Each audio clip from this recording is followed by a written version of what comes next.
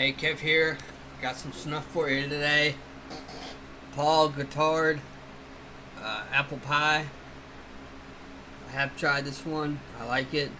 Um, smells like apple pie. You know, it's got, uh, imagine it's got cinnamon and stuff in it. Um, I just want to say about these tap tins, I don't like them because I either get too little or too much, you know, it's just it's always uh, it's always a roll of the dice with this. Um, see if I can get it open.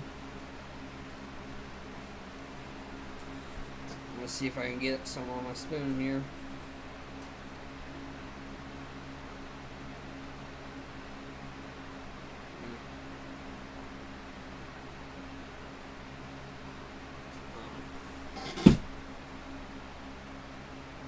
It's uh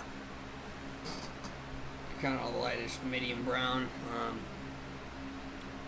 let's get a bump.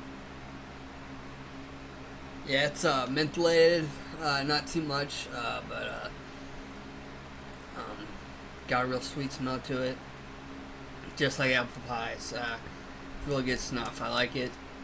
Um, you can get it on Mr. Snuff. Um, yeah, it's uh, it's really good. I like it. Uh, I haven't had any other Paul Guittard snuff. Um, this is my first one. Um,